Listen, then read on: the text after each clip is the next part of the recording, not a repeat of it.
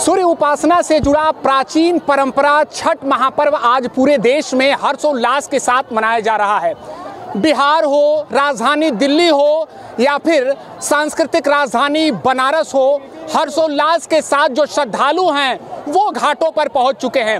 मन में यही उत्साह है, मन में यही उमंग है कि हमारी सभी मनोकामनाओं को छठी मैया पूर्ण करें। हम आपको बनारस के घाटों की तस्वीर दिखाएँगे। ये देखिए, ये मान घाट की तस्वीर है और आप दूर तक नज़र देख पा रहे होंगे कि जो घाट है वो पूरी तरह से भरे हुए हैं। चार दिवसीय यह पर्व होता है, नहाय खाए से शुरू होता है, इसमें अनेक परंपराएँ होती हैं और माताएँ, बहनें उसे पूरी विधि विधान से उसका निर्वहन करती हैं। और जब बात हो काशी की तो यहाँ के लिए कहा ही जाता है कि सात बार नौ त्यौहार। चलिए, जो माताएँ हैं, हम उनसे बात करने का भी प्रयास करेंगे। और देखिए, छठी मैया को चढ़ाए जाने वाला जो पूजन सामग्री है, इसके अलावा भोग है, वो यहाँ पर चढ़ाया गया और आज का जो दिन है सूर्यास्त होते जल देने का महात्मा है। इसके बाद कल भगवान भास्कर के सूर्योदय के समय अर्घ दिया जाएगा। चलिए हम बात करते हैं। जो श्रद्धालु यहाँ पे मौजूद हैं क्या नाम है आपका? मेरा नाम गीता पांडे है। कब से ये पर्व कर रही हैं? क्या कुछ मान्यताएँ हैं? जरा बताइए। कई वर्षों से हो रहा है बीस साल से हो रहा है बीस बाईस साल से करीब हो रहा है। और ये पुत्र उत्पत्ति के लिए किया जाता है। और इस सूर्य भगवान की कृपा से पुत्र प्राप्त होता है जो भी इसको करते हैं उनको पूरा होता है उनकी मनोकामनाएँ पूरी होती है। और इनसे चर्म रोग कुष्ठ रोग आदि सब व्याधि सब ठीक होता है। यानी कि आ, संतान प्राप्ति के साथ साथ हमारे जो और कष्ट हैं उसको दूर करने के लिए भी लोग करते सारी मनोकामनाएँ पूरी होती हैं हर कष्ट महाभारत में भी इसका उल्लेख किया गया है माता कुंती ने भी इसको किया था। और जो है कि उन- उनके आशीर्वाद से उन्हें कर्ण की प्राप्ति हुई थी। और इसमें विशेष जो है कि शुद्धता पवित्रता का विशेष ध्यान दिया जाता है। शुद्धता पवित्रता का विशेष ध्यान दिया जाता है। एक और बात कि चार दिवसीय ये पर्व होता है नहाय खाए से शुरू होता है और कल भगवान सूर्य को उदय होते अर्घ दिया जाएगा।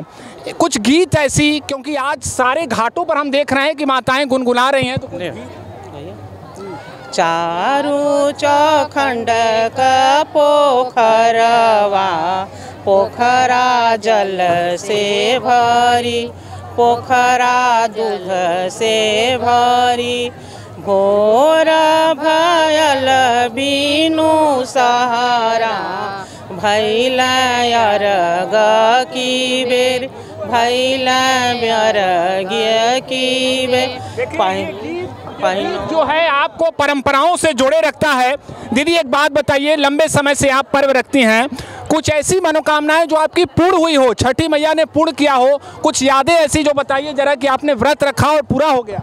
हमारे छोटे वाला लड़का छठी मैया के मन्नत से है। हमने अचानक मन्नत माना कि हमको छठी मैया पुत्र दे ले ठीक साल भर बाद ही हमको छोटा लड़का हुआ हुआ। पुत्र प्राप्त हुए। प्राप्त हुए। आप कब से इस परंपरा का निर्वहन कर रही हैं? तकरीबन कितने वर्षों से? इस समय हम सत्ताईस साल से मेरा छोटा लड़का सत्ताईस साल का हो गया है। साल से? से हुई है तब? हाँ तब से कर। अच्छा, जब तैयारी शुरू होती है प्रथम दिन नहाए खाए से बड़े पवित्रता का ध्यान दिया जाता है। क्या तैयारी करती हैं आप? उस दिन हम लोग सुबह उठकर नहा धोकर कद्दू का बनता है सब दाल और चावल दिन भर उसी को खा कर रहा जाता है।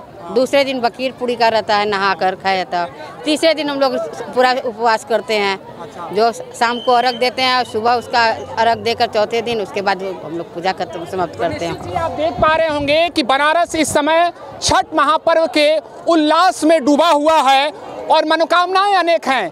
किसी की मनोकामना, किसी की प्रार्थना है कि संतान प्राप्ति हो, कोई चाहता है विवाह हो, कोई चाहता है कि अच्छी नौकरी की प्राप्ति हो, ऐसे में आप सभी को भी छठ महापर्व की ढेरों शुभकामनाएँ। एबीपी न्यूज़ के लिए वाराणसी से निशांत चतुर्वेदी।